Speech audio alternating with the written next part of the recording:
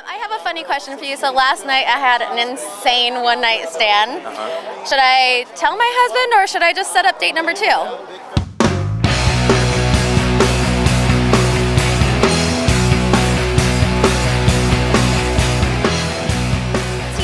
Real TV Films here in Beverly Hills for the Marriage Chronicles premiere with the star of the film, Darrin Henson. How are you doing this evening? I'm you look incredible. fabulous. Incredible. Thank you so much. Thank you. Yes. So tell me, what was it like working on this film?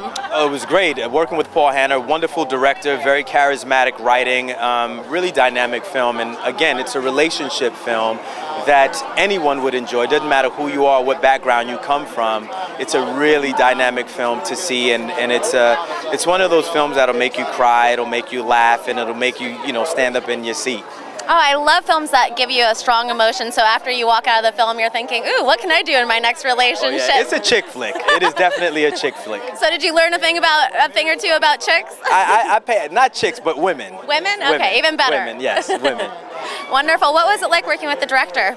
Well, again, Paul Paul was a great director, very charismatic, and um, he was just he was just uh, he allowed us to, to really go in. And if there was something that uh, we felt on the day that we wanted to add, then he allowed us to do that. You know, he, he allowed it to be organic, and uh, he gave us our space to work.